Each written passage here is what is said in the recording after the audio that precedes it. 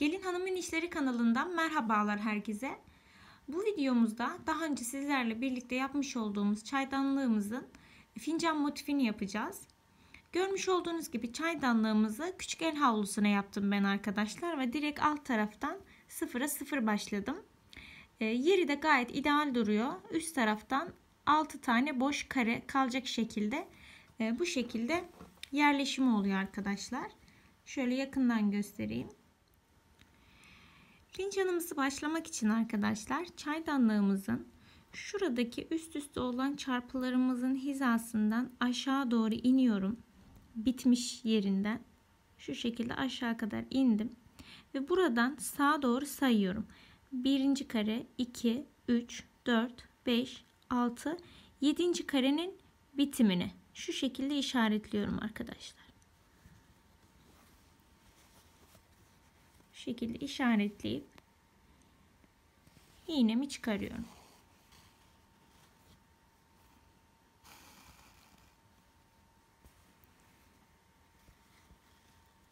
Şimdi bu şekilde iğnemi çıkardıktan sonra sağa doğru hareket edeceğim. Şöyle göstereyim.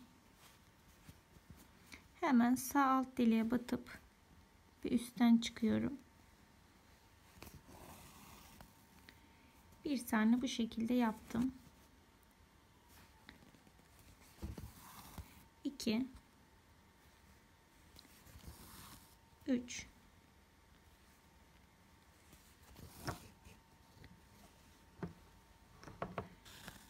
4 5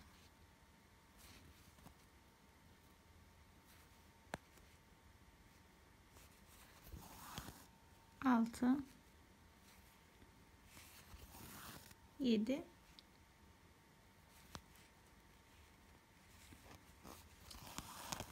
ve 8 şu şekilde 8 tane çarpı yapıp geriye dönüp bu çarpılarımı tamamlıyorum. Aşağı batıp hemen üst deliğinden çıkıyorum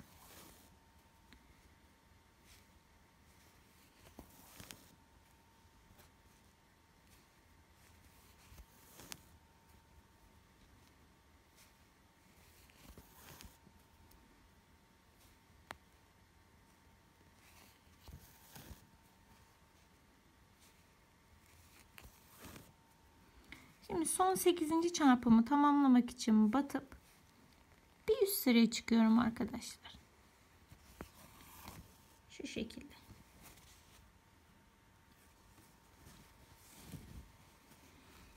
Şöyle çevireceğim. Buradan hemen e, sol alt deliğime batıp buraya bir tane çarpı yapıyorum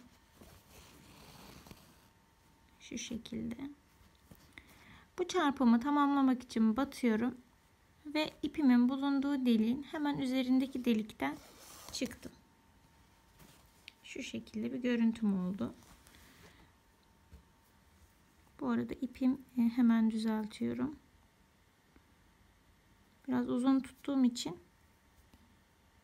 karışabiliyor. Tamam.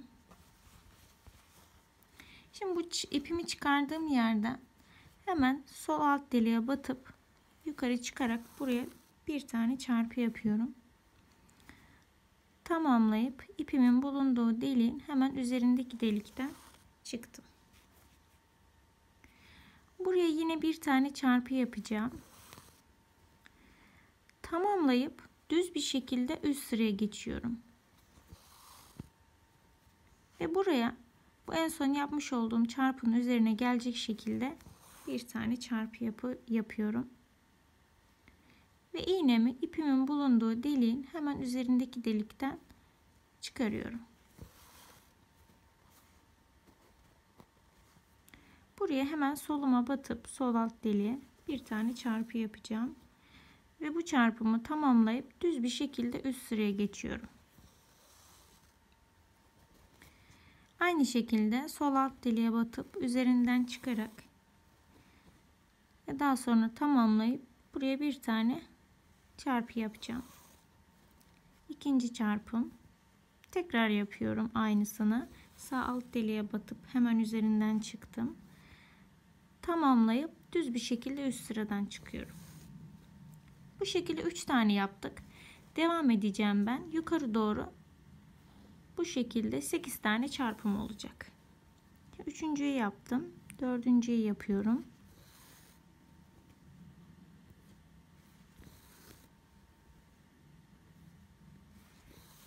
Beşinci.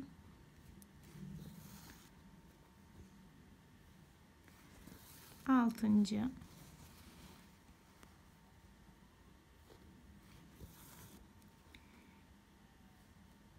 Yedinci. Buraya sekizinciyi yapıyorum. Bu sekizinciyi de tamamlıyorum arkadaşlar. Üst sıraya geçmiyorum. Tamamladım. 8 tane üst üste buraya çarpı yaptım. Buradan daha sonra sağ tarafa doğru ilerliyorum. Hemen sağ alt deliğe battım. Bir tane buraya bu şekilde çarpı yaptım. Devam ediyorum. Bu şekilde. Bu şekilde ilerleyeceğim sağa doğru. Şimdi bu sırada kaç tane olmuş oldu? En baştakiyle beraber 1, 2, 3, 4, 5, 6. yapıyorum. Toplamda burada 1, 2, 3, 4, 16 tane çarpımız olacak. Biz kaç tane? 6 tane yaptık. 10 tane daha yapmam gerekiyor.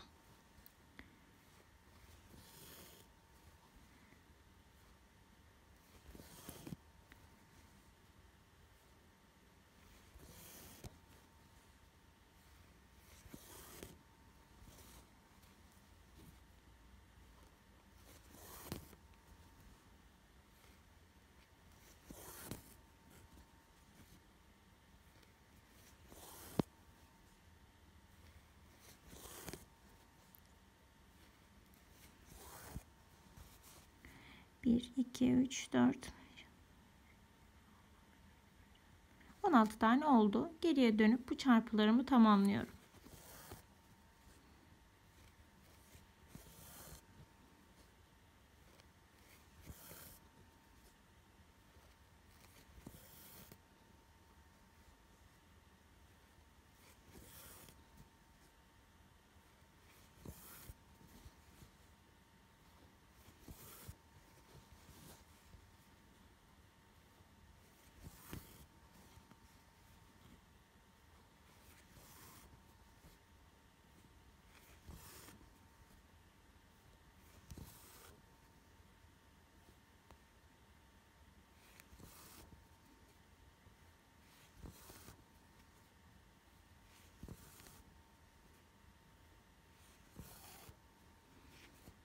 Son çarpımı tamamlayıp bir alt iğnemi alttan çıkarıyorum arkadaşlar. Son çarpımı tamamlamak için batıp iğnemi alttan çık çıkarıyorum.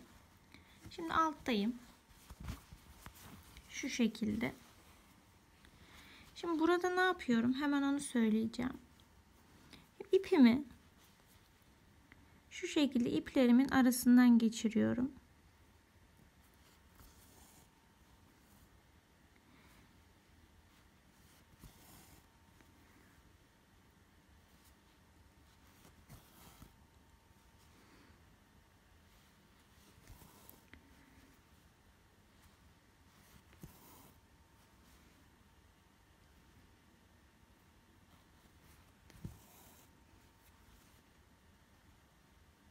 Sonuna kadar ilerliyorum burada.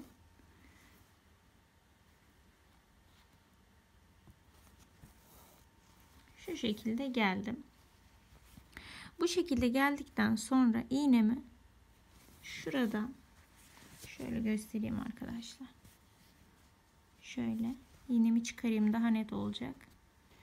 Şu şekilde çıkarıyorum.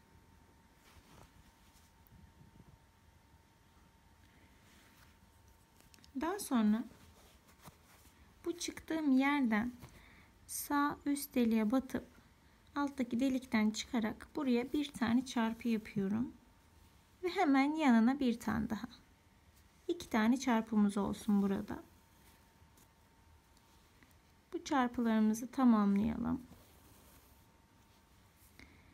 Tamamlayıp iğnemizi nereden çıkarıyoruz onu göstereceğim. Buradaki yapmış olduğumuz çarpının sağ alt ucunun bir altındaki delik. Şu şekilde çapraz çıkıyorum. Hemen buraya bir tane çarpı yapacağım. Ve bu çarpımı tamamlayıp ipimin bulunduğu deliğin hemen altındaki delikten iğnemi çıkaracağım.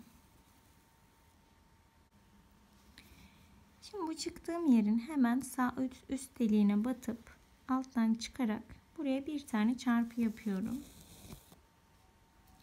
Bu çarpımı tamamlamak için batıp yan ta sol tarafımdan iki tane boş kare bırakacak şekilde çapraz sağ alt, e, sol tarafa doğru sol alta doğru hareket ediyorum. Şu şekilde iki tane arada boş kare bıraktım. Daha sonra buraya geldiğim yerden sol üst deliğe batıp buraya bir tane kare yap çarpı yapıyorum. Yanına bir tane daha. Tamamlıyorum bu çarpılarımı.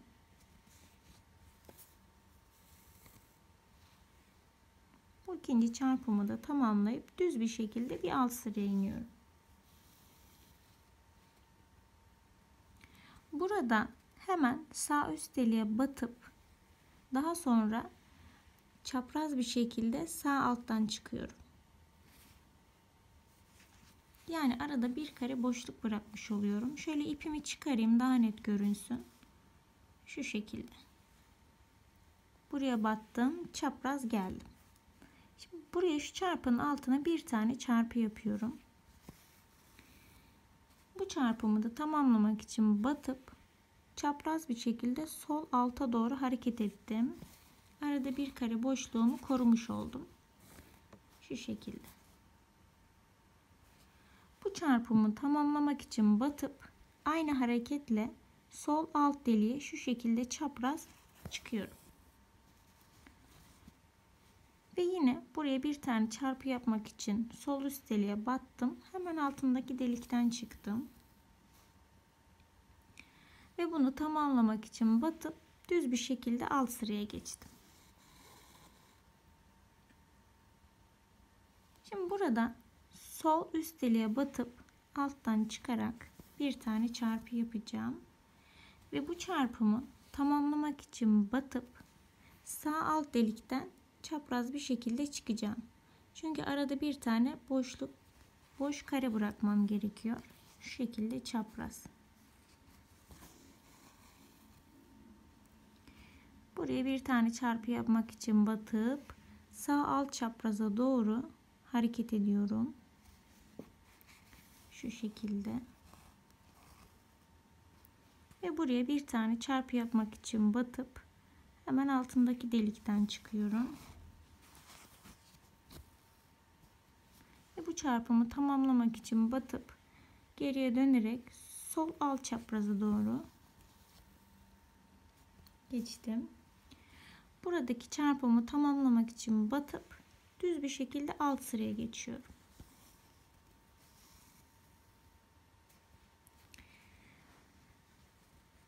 Buraya tam çarpının altına bir tane çarpı yapmak için batıp sağ alt çapraza geçtim.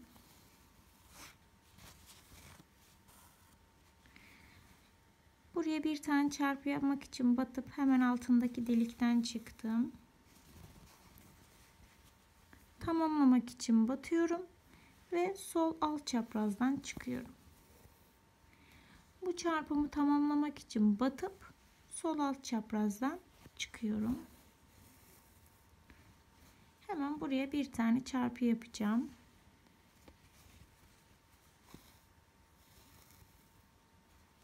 Bu çarpımı da tamamlamak için batıp düz bir şekilde alt sıraya geçiyorum.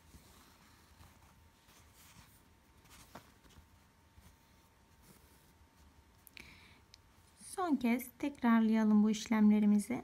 Sol üst deliğe battım. Hemen altındaki delikten çıktım.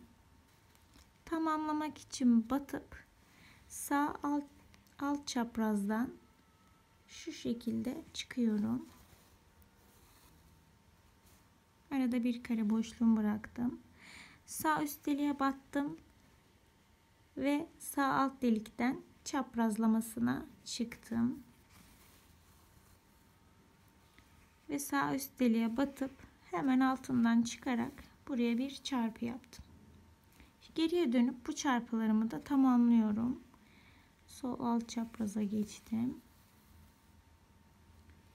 Ve buradaki çarpımı da tamamlayıp düz bir şekilde alt sıraya geçtim. Şimdi buradan arkadaşlar daha sonra sola doğru sol üst deliğe batıp altındaki delikten çıkarak buraya bir tane çarpı yapıyorum. Bu defa şu boşluğun tam ortasına gelmiş oldum. Hemen yanına bir tane daha yapıyorum. Ve bir tane daha yapacağım. 3 tane yan yana. Bu sırada geriye dönüp bu çarpıları tamamlıyorum.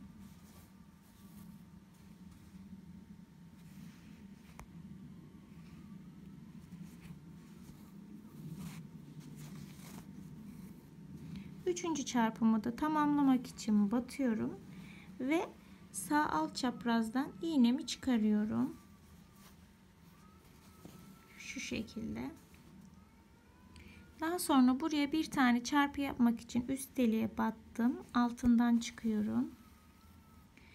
Ve burada bu çarpımı da tamamlamak için batıp düz bir şekilde alttan çıkıyorum. Şu şekilde. Arka görüntüsüne de bakalım mı isterseniz nasıl gidiyor diye bir bakalım. Şu an buradayız. İpimiz burada. Şöyle bir görüntümüz var. Şu şekilde. Buradan sol üst deliğe batıp hemen altından çıkalım. Buraya bir tane çarpı yapalım. Tamamlayıp iğnemizi ipimizin bulunduğu deliğin hemen altındaki delikten çıkaralım. Sola doğru üste batıp alttan çıkarak bir iki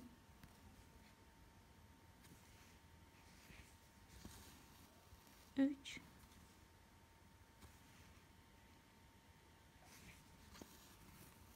4 bu şekilde yaptıktan sonra bulunduğumuz yerin sol alt deliğine batıp yani şu alttaki çarpının ucuna batıp hemen üzerinden çıkarak buraya bir tane çarpı yapalım.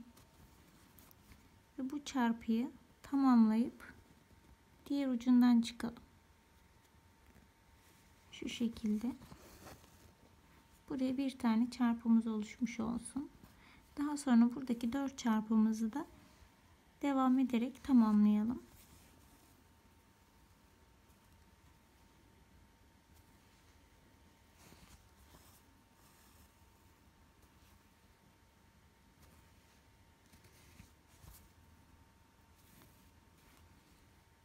batıp iğnemizi alttan çıkarabiliriz. Arkadaşlar çaydanlık motifimize yaptığımız çiçeğimizin rengi neyse o ipi iğnemize taktıktan sonra şurada kahve fincanımızın alt sıradaki çarpıları var ya buradan sağ çarpımızdan itibaren içeri doğru sayıyoruz. 1 şu üzerindeki boş kareleri sayalım. 1 2 3. boş kare. Buradan da yukarı doğru 1 2 3. karemizi dolduracağız. Bu üçüncü karemizin sağ üst deliğinden iğnemi çıkarmam gerekiyor.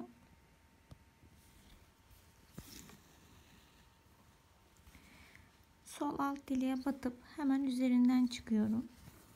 Bu karem bu karemi dolduruyorum bu şekilde. Hemen yanına bir tane daha yapıyorum. Ve bir tane daha. 3 tane yan yana çarpımız olsun tamamlayalım.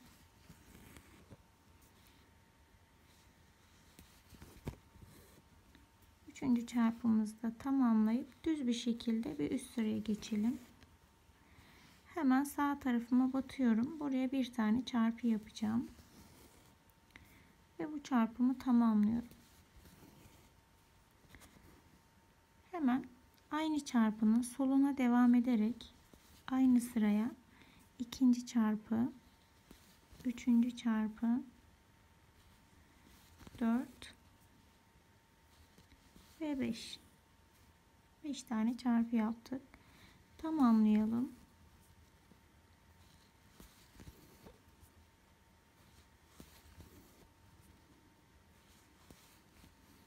Bu sonuncu çarpımımızı tamamlayıp düz bir şekilde üst sıraya geçiyoruz. Şu şekilde. Hemen sağıma bir tane çarpı yapıyorum. Bu çarpımı tamamlıyorum. Yanına bir tane daha yapmak için batıp sol üst çaprazdan yukarı doğru çıkıyorum.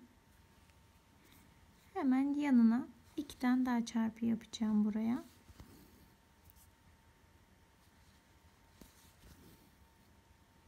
çarpıları tamamlıyorum. Ve bir üst sıraya geçiyorum. Hemen soluma bir iki çarpı yaptım. Bu iki çarpımı tamamlıyorum. Ve aynı sıraya sağa doğru devam ederek üçüncü çarpımı yaptım dördüncü çarpı ve 5 çarpı yaptıktan sonra geriye dönüp çarpıları tamamlıyorum. Ve buradan bir üst sıraya geçtim. Hemen soluma bir tane çarpı yapacağım. Çarpımı tamamlıyorum ve sağıma bir iki tane daha yapıyorum. Yani toplamda üç tane çarpım olmuş oldu burada. Tamamlayıp ipimi alttan çıkarabilirim.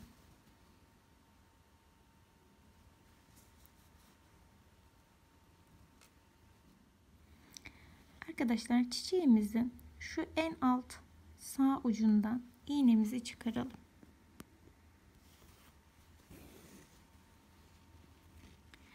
Daha sonra buraya hemen sağ alt deliğe batıp üzerinden çıkarak buraya bir tane çarpı yapacağız. Ve hemen yanına bir tane daha yapalım. İki tane çarpımız olsun. Tamamlayalım bu iki çarpımızı. Ve direkt bir üst sıraya geçelim. Çiçeğimizin şu köşesi yani. Şu şekilde. Çıktık. Buraya da aynı şekilde sağa doğru iki tane çarpı yapalım. Tamamlayalım.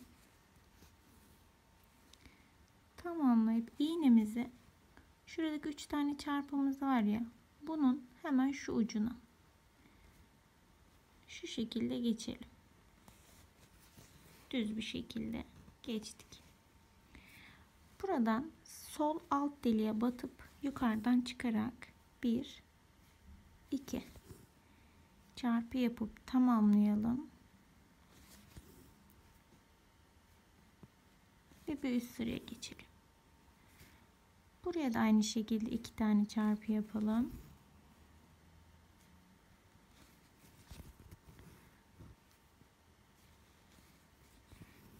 Tamamlayalım ve bir alt ve iğnemizi alttan çıkarabiliriz.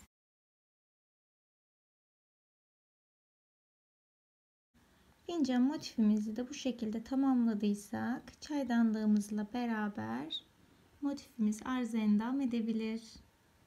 Şu şekilde tamamını görmüş olalım. Havlumuzun arka tarafından arka yüzünü de gösterelim. Şu şekilde. Arka tarafı görüntüsü de bu şekilde. Beni izlediğiniz için hepinize tekrar teşekkür ediyorum. Lütfen video videolarımı beğenmeyi ve kanalıma ücretsiz abone olarak bana destek vermeyi unutmayınız olur mu? Ayrıca videolarımı paylaşırsanız çok çok memnun olurum. Hepinize şimdiden teşekkür ediyorum. Yeni bir videoda ve tekrar farklı bir motif ile görüşebilmek dileğiyle. Hoşçakalın.